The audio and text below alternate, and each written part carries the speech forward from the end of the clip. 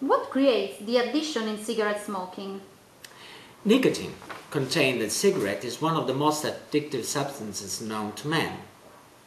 Powerful and very fast acting. It is absorbed and enters the bloodstream through the lungs when smoke is inhaled. Is a psychoactive drug which stimulates the brain to activate pleasure centers. The persistent, strong, growing desire for the sensational pleasure caused by nicotine explains the, the addictiveness of smoking. What are the withdrawal symptoms?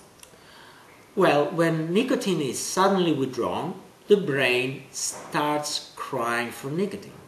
physiological functions in the brain and other parts of the body become rapidly disturbed because of nicotine starvation and these body changes are known as withdrawal symptoms and include irritability, nervousness, restlessness, anxiety, mood swings, insomnia, difficulty concentrating, craving for cigarettes, and increased appetite. And how long do these symptoms usually last? Days, weeks, or months? Well, smokers are likely to have these unpleasant symptoms during the first couple of weeks after the quit as it takes a little time for the body to readjust to functioning normally without nicotine. Although withdrawal symptoms will diminish in intensity over time, the adverse effects of nicotine withdrawal make it difficult for most people to quit smoking. And it's, it is the cause for relapse.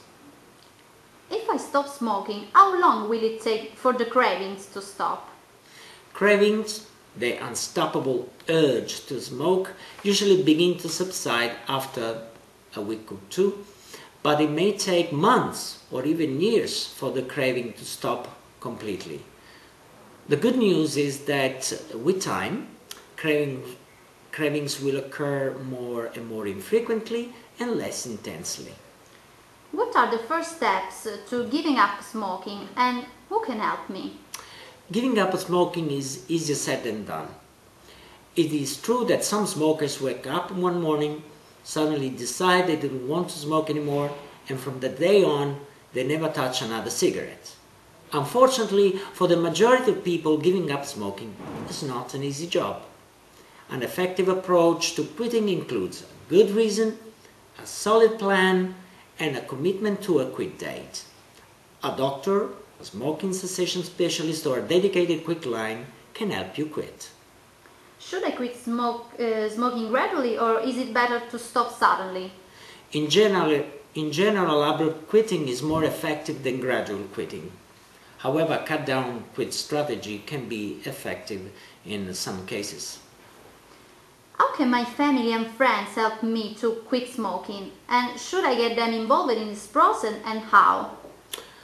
Family and friends can be a major resource if you are trying to quit. Their involvement should be considered early in your personalized quitting plan. Tell them you're quitting and that you need their support. The best support they can provide is to offer love, encouragement, and understanding. Pestering, threatening, destroying or hiding their cigarettes is counterproductive. If I give up, will I put on weight and is there anything I can do to prevent this? When nicotine is removed from a person's system, energy expenditure returns to normal and an increase in appetite is reported. Thus, some weight gain may occur when quitting. Being aware of the problem will help in minimizing this weight gain. Simply adjust eating habits physical activity to maintain weight during and after quitting. That's all you need to do. Never let the fear of weight gain keep you from stopping smoking. I can quit smoking without the help of anti-smoking drugs. Willpower is all it takes. Anti-smoking drugs are truly beneficial, I must say. Success is not guaranteed, but you are up to four times more likely to quit with the help of these medicines. Strong motivation leads to success, we know that. However, willpower alone is not enough. Most people need help to overcome their addiction and its withdrawal symptoms. And anti-smoking medicine can help through, through that. Don't let pride be your downfall. I'm against using medicine to help me quit smoking. Well, there's no shame using medicine to free yourself from a very powerful and physically addictive drug such as smoked nicotine. I've heard that the anti-smoking drugs have side effects. Are they bad? As for any drugs, also anti-smoking medicines have side effects. However, side effects from these products are not serious, nausea, agitation, depressed mood, and are generally observed in one in five users.